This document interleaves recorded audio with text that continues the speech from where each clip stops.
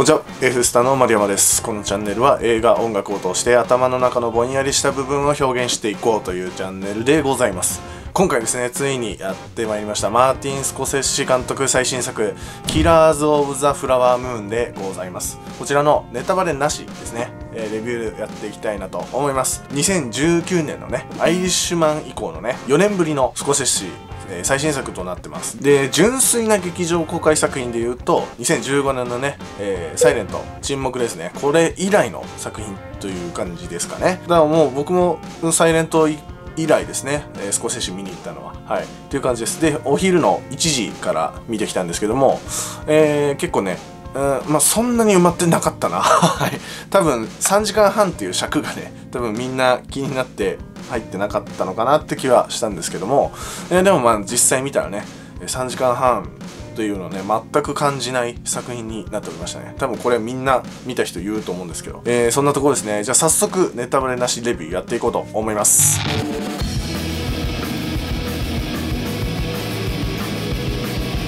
今回のね、キラーズ・オブ・ザ・フラワームーンはですね、えーアメリカの1920年代にね、実際に起こった、えー、オセージ族連続開始事件というね、えー事件を元に作られた、えー小説というか本がありまして、えーキラーズ・オブ・ザ・フラワームーンというね、えーそのままのタイトルの、え本があるんですけど、それを原作とした作品となっております。っていうね、まあ、今回史実に基づいてるってところを多分加味してたと思うんですけども、かなり淡々とした、えーストーリーテリングとなっていましたね。僕としては。足さないっていうね、もう足すような演出をほとんどしてないですね、今回。昔あった事実っていうものをそのまま伝えるという目的なのかなという感じがありましたね、見てて。3時間半あるんですけど、足して足して3時間半じゃないんですよね。そぎ落としてそぎ落として3時間半になってるっていうのを見るとかなり感じるんじゃないかなと思いますね。まあカメラワーク、カット割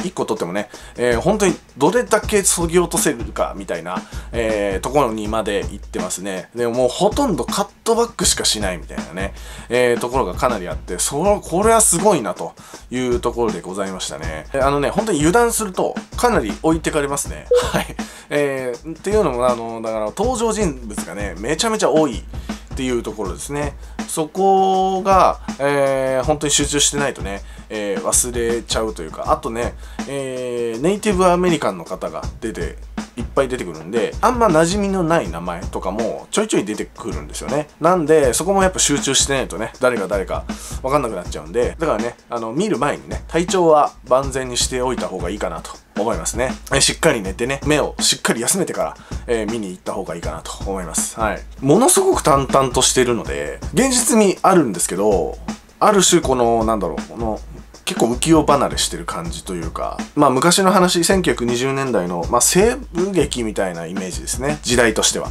ある種ファンタジーにも見えてくる。ですよね気を抜くと。でもこれ事実で本当にこういうことがあったんだなっていうフィルターを1個入れてから見た方が楽しめるというかかなりずしんとくるものがあると思いますね。はい。見終わった後の劇場出た後ですね。その後のなんかずっしりとめちゃめちゃ重いものを持って帰ってきてる。ほんと口開けて結構ポカーンとしてもうやられたまま、えー先ほど帰ってきたという感じですね。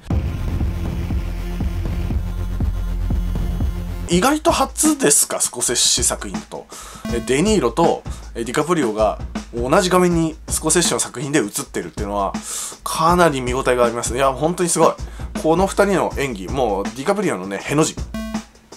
ずっとこんな顔してるんですけど、もうこれのね、硬い顔をしたディカプリオ。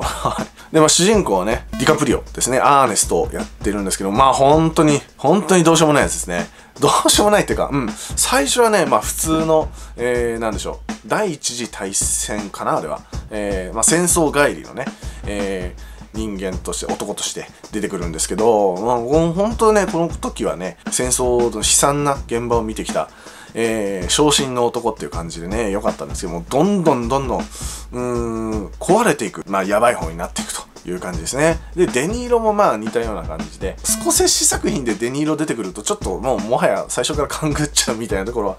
あると思うんですけどね。はい、えーまあ素晴らしい役者ですね。良かったですね。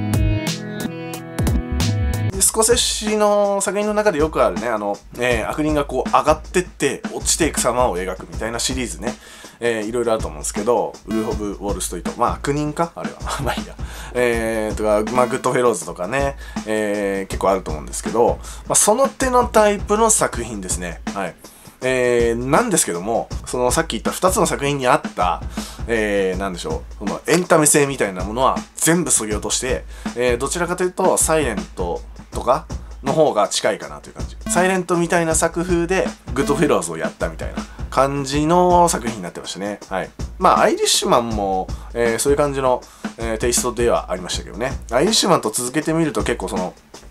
えー、スコセッシの最近の、やりたい感じが見えてくるかなと思ったりしますね。まあ主人公は一応ディカプリオなんですけど、あそんなにね、主人公の目線に肩入れしてない、ある、結構フラットな視線のね、語り口になってて、それも、えー、面白いというか、さすがだなと思うようなポイントでありましたね。結構本当に帰ってきてすぐ撮ってるからかなりキレキレというか、えー、話行ったり切ったりしちゃってて、えー、とっちらかっちゃってるんですけど、今ね、ちょっと10分ちょいぐらいね、喋喋ってきたんですけど、えー、気づいたらネタバレしてるなっていう感じだったんで、えー、もうネタバレありの方でね、ちょっと喋っていこうと思います。次回はね、ネタバレあり動画でございます。というとこですね。はい。よければ高評価、チャンネル登録お願いいたします。X、各種音楽サイトでもデモ音源配信しております。えー、よければ、えー、概要欄の方で見てみてください。それじゃあまた。